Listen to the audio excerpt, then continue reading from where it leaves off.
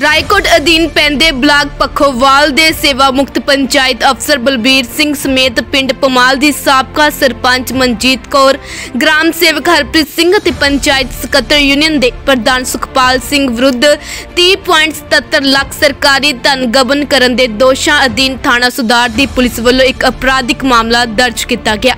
ਰਾਏਕੋਟ ਵਿਖੇ ਕੀਤੀ press conference ਦੌਰਾਨ ਬਲਾਕ ਵਿਕਾਸ ਅਤੇ ਪੰਚਾਇਤ ਅਫਸਰ ਰਾਏਕੋਟ ਰੁਪਿੰਦਰਜੀਤ ਕੌਰ ਨੇ ਦੱਸਿਆ ਕਿ ਸੁਖਪਾਲ ਸਿੰਘ ਗਿੱਲ ਵੱਲੋਂ ਹਾਈਕੋਰਟ ਵਿੱਚ ਪਿੰਡ ਪਮਾਲ, ਪਿੰਡ ਪਮਾਲੀ, ਪਿੰਡ ਟੈਪਈ ਤੇ ਪਿੰਡ ਮਿੰਨੀ ਛਪਾਰ ਦੇ ਪੰਚਾਇਤੀ ਰਿਕਾਰਡ ਮਿਸਪਲੇਸ ਹੋਣ ਸੰਬੰਧੀ ਸ਼ਿਕਾਇਤ ਕੀਤੀ ਗਈ ਸੀ, ਜਿਸ ਦੀ ਜਾਂਚ ਨੂੰ ਲੈ ਕੇ ਪਿੰਡ ਪਮਾਲ ਦੇ ਖਾਤਿਆਂ ਵਿੱਚ ਗਬਨ ਹੋਣ ਦੀ ਗੱਲ ਸਾਹਮਣੇ ਆਈ। ਜਿਸ ਤਹਿਤ ਤਤਕਾਲੀ ਬੀਡੀਪੀਓ ਪੱਖੋਵਾਲ ਬਲਬੀਰ ਸਿੰਘ, ਪੰਚਾਇਤ ਸਕੱਤਰ ਸੁਖਬੀਰ ਸਿੰਘ ਗਿੱਲ, ਹਰਪ੍ਰੀਤ ਸਿੰਘ ਖਿਲਾਫ ਕਾਰਵਾਈ ਕਰਨ ਲਈ ਭੇਜਿਆ ਗਿਆ। ਫਿਲਹਾਲ ਪੁਲਿਸ ਵੱਲੋਂ ਦੋਸ਼ੀਆਂ ਖਿਲਾਫ 420 ਤੇ 406 ਅਧੀਨ ਮੁਕੱਦਮਾ ਦਰਜ ਕੀਤਾ ਗਿਆ। Rupinderjit Kaur BDPO Raikot additional charge block Pakhowal, ਠੀਕ।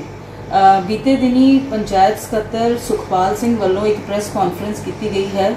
ਇੱਕ ਸਰਕਾਰੀ ਅਧਿਕਾਰੀ ਤੇ ਉਹਨੇ ਦੋਸ਼ ਲਗਾਏ ਹਨ। ਉਹਨਾਂ ਦੋਸ਼ਾਂ ਦੇ ਖਿਲਾਫ ਮੈਂ ਆਪਣਾ ਜਵਾਬ ਦੇਣਾ ਚਾਹੁੰਦੀ ਹਾਂ ਵੀ ਜੋ ਕੁਝ ਵੀ ਹੋਇਆ ਉਹਦੇ ਤੇ ਜੋ ਪਰਚਾ ਦਰਜ ਹੋਇਆ ਉਹ ਸਰਕਾਰੀ ਨਿਯਮਾਂ ਦੇ ਮੁਤਾਬਕ ਹੋਇਆ ਹੈ ਉਹਦੇ ਬਾਰੇ ਮੈਂ ਗੱਲ ਕਰਨਾ ਚਾਹੁੰਦੀ ਹਾਂ। ਅੱਛਾ ਜੀ ਕੀ ਸੀ ਇਨਕੁਆਰੀ ਐਕਚੁਅਲੀ ਸੁਖਪਾਲ ਸਿੰਘ ਪੰਚਾਇਤ ਸਕੱਤਰ ਵੱਲੋਂ ਹਾਈ ਕੋਰਟ ਦੇ ਵਿੱਚ ਇੱਕ ਰਿਟ ਪਟੀਸ਼ਨ ਪਾਈ ਗਈ ਸੀ 16468 2019 ਦੇ ਵਿੱਚ ਜਿਸ ਵਿੱਚ ਉਸਨੇ ਪਮਾਲ ਪਮਾਲੀ ਢੈਪੀ ਅਤੇ ਮਿਨੀ ਛਪਾਰ ਦੇ ਰਿਕਾਰਡ ਦੇ ਸਬੰਧ ਚ ਗੱਲ ਕੀਤੀ ਹੈ ਵੀ ਜਾਂ ਤਾਂ ਉਹ ਮਿਸਪਲੇਸ ਹੋ ਗਿਆ ਸੀ ਰਿਕਾਰਡ ਜਾਂ ਉਹ ਲਿਖਿਆ ਨਹੀਂ ਗਿਆ ਜਾਂ ਉਹ ਤਬਦੀਲ ਨਹੀਂ ਹੋਇਆ।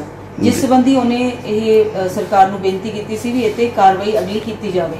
ਇਸ ਸਬੰਧ ਦੇ ਵਿੱਚ ਸਰਕਾਰ ਨੇ ਤਿੰਨ ਮੈਂਬਰੀ ਕਮੇਟੀ ਗਠਿਤ ਕਰ ਦਿੱਤੀ ਸੀ, ਜਿਸ ਦੇ ਮੈਂਬਰ ਸਨ ਮਾਨਯੋਗ ਏਡੀਸੀ ਡੀ ਲੁਧਿਆਣਾ, ਮਾਨਯੋਗ ਡੀਡੀਪੀਓ ਲੁਧਿਆਣਾ ਅਤੇ ਵਿ- ਵਿਸ਼ੇਸ਼ ਕਾਰਜ ਅਫਸਰ ਚੋਣ ਮੁਖ ਦਫ਼ਤਰ ਮੁਹਾਲੀ।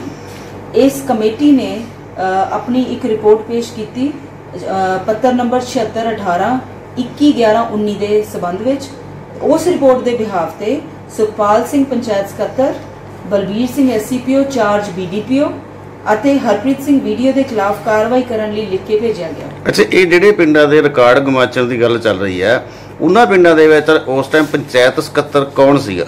ਇਹ ਸ਼ੁਰੂਆਤ ਸੁਖਪਾਲ ਸਿੰਘ ਪੰਚਾਇਤ ਸਕੱਤਰ ਤੋਂ ਹੁੰਦੀ ਹੈ। ਇਹਨਾਂ ਦਾ ਰਿਕਾਰਡ ਸ਼ੁਰੂ ਤੋਂ ਹੀ ਪੰਚਾਇਤ ਸਕੱਤਰ ਸੁਖਪਾਲ ਸਿੰਘ ਵੱਲੋਂ ਨਹੀਂ ਲਿਖਿਆ ਗਿਆ ਸੀ ਜਿਹਦੀ ਵਜ੍ਹਾ ਨਾਲ ਇਹ ਸਾਰੀਆਂ ਉਲਝਣਾਂ ਸਾਹਮਣੇ ਆਈਆਂ। ਅੱਛਾ ਜੀ।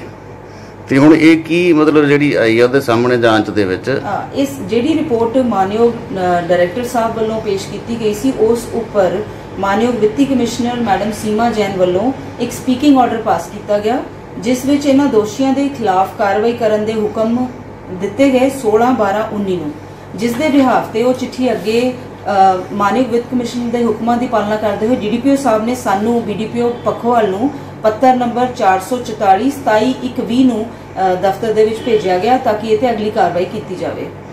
ਇਸ ਵਿੱਚ ਮੈਂ ਦੱਸਣਾ ਚਾਹੂੰਗੀ ਕਿ ਮੇਰੇ ਤੋਂ ਪਹਿਲਾਂ ਵਿਪਨ ਸਿੰਘ BD ਅ, ਵਿਪਨ ਸ਼ਰਮਾ ਬੀਡੀਪੀਓ ਅਤੇ ਪਟਵਾਰੀ ਚਾਰਜ ਪੰਚਾਇਤ ਅਫਸਰ ਦਲਜੀਤ ਸਿੰਘ ਇਹਨਾਂ ਨੇ ਮੇਰੇ ਤੋਂ ਪਹਿਲਾਂ ਦੀ ਇਨਕੁਆਇਰੀ ਕੀਤੀ ਹੋਈ ਸੀ ਜਿਸ ਵਿੱਚ ਐਕਸੀਅਨ ਸਾਹਿਬ ਦੀ ਰਿਪੋਰਟ ਹਲੇ ਪੈਂਡਿੰਗ ਸੀ।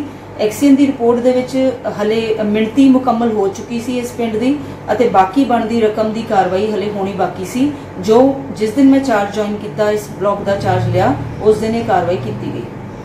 ਜੀ ਹੁਣ ਮਤਲਬ ਗਾਹਾਂ ਅਗਲੀ ਕੀ ਕਾਰਵਾਈ ਹੋਈ ਹੈ? ਜੀ ਇਸ ਇਨਕੁਆਇਰੀ ਦੇ ਵਿੱਚ ਇਹ ਸਾਹਮਣੇ ਆਇਆ ਕਿ ਬਲਵੀਰ ਸਿੰਘ ਨੇ ਬਿਨਾਂ ਪੰਚਾਇਤ ਸਕੱਤਰਾਂ ਦੇ ਹਸਤਾਖਰਾਂ ਤੋਂ ਰਕਮ ਕਢਵਾਈ ਅਤੇ ਸੁਖਪਾਲ ਸਿੰਘ ਅਤੇ ਹਰਪ੍ਰੀਤ ਸਿੰਘ ਵੀਡੀਓ ਕੋਲ ਸੰਬੰਧਿਤ ਪੰਚਾਇਤ ਦਾ ਰਿਕਾਰਡ ਕੋਲ ਨਹੀਂ ਸੀ ਕੋਲ ਹੋਣ ਦੇ ਬਾਵਜੂਦ ਉਹਨਾਂ ਨੇ ਉਸ ਨੂੰ ਮੁਕੰਮਲ ਨਹੀਂ ਕੀਤਾ। ਇੱਕ ਜਿਵੇਂ ਪੁੱਛਣਾ ਚਾਹੂੰਗਾ ਜਿਹੜਾ ਇਹ ਹਰਪ੍ਰੀਤ ਵੀਡੀਓ ਕੌਣ ਆ ਔਰ ਉਹਦੀ ਕੀ ਪੋਸਟ ਆ?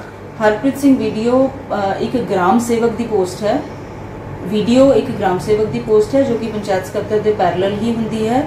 ਇਹ ਪਹਿਲਾਂ ਸੁਖਪਾਲ ਕੋਲ ਇਹਨਾਂ ਪੰਚਾਇਤਾਂ ਦਾ ਰਿਕਾਰਡ ਸੀ ਉਸ ਤੋਂ ਬਾਅਦ ਹਰਪ੍ਰੀਤ ਸਿੰਘ ਨੂੰ ਤਬਦੀਲ ਕੀਤਾ ਗਿਆ ਸੀ।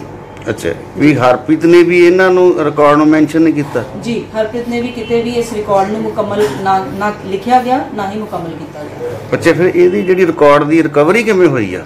ਜੀ ਇਸ ਤੋਂ ਬਾਅਦ ਜਦੋਂ ਅਸੀਂ ਜਿਸ ਦਿਨ ਮੈਂ ਇਸ ਬਲਾਕ ਦੇ ਵਿੱਚ ਜੁਆਇਨ ਕੀਤਾ ਹੈ 6 ਤਰੀਕ ਨੂੰ 6-8-20 ਨੂੰ ਜਦੋਂ ਮੈਂ ਇਸ ਬਲਾਕ 'ਚ ਜੁਆਇਨ ਕੀਤਾ ਤਾਂ ਉਸ ਟਾਈਮ ਤੱਕ ਜਿੰਨੀ ਇਨਕੁਆਇਰੀ ਮੁਕੰਮਲ ਹੋਈ ਸੀ ਉਹ ਸਾਡੇ ਮੇਰੇ ਧਿਆਨ 'ਚ ਲਿਆਂਦੀ ਗਈ ਦਫ਼ਤਰ ਵੱਲੋਂ।